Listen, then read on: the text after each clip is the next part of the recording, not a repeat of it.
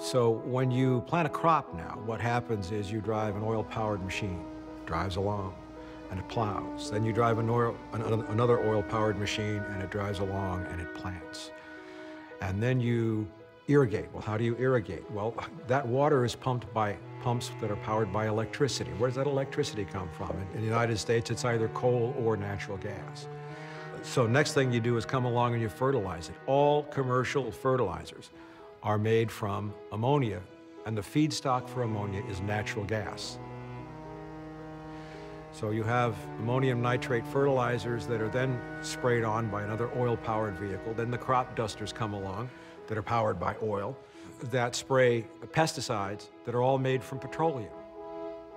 Then when it's time to harvest the food, what do you do? You drive another oil-powered machine and you harvest it. You use another oil-powered machine to drive it to a place where it's processed. then you wrap it up in plastic, which is oil, and you put it in another oil-powered machine, and you drive it X number of miles to a food distribution warehouse, an oil-powered machine to your supermarket.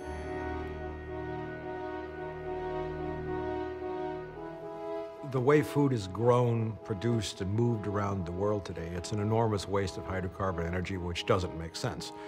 Why do we have uh, strawberries from Chile? Why do we have spinach from China? Why do we ship anchovies halfway around the world to be packaged in tin cans and, you know?